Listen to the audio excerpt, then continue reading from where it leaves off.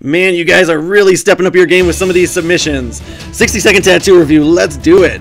Now, this tattoo was sent in by Petar Manilov from the Ink Hub in Denny, Scotland, and you might recognize that name. He actually sent in this tattoo not too long ago.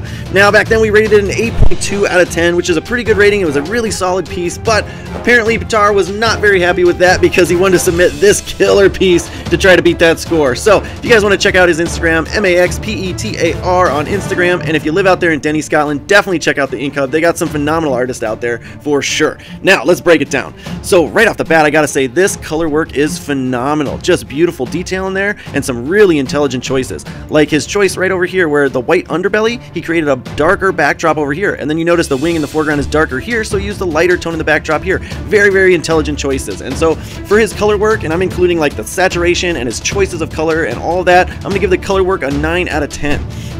Now, when we talk about the healing, though, I gotta blip over because there's some things I'm seeing. I zoom in here, and that choice that he made to do a dark backdrop kind of blurred the legs a little bit and the branch that they're standing on. And so, again, if I go back here, you can see they look really crisp and clean there, but when it healed, they kind of blend into the background. So there needed to be more highlight tones there, or you should have used a lighter tone of that brown in the legs so that it could differentiate more from the background.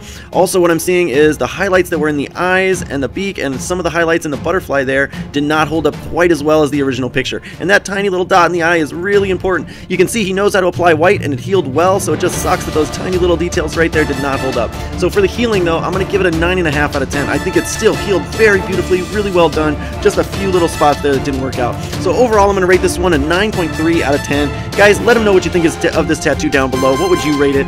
And uh, if you want to get your tattoo review, just send it in. All right, thanks. Bye-bye.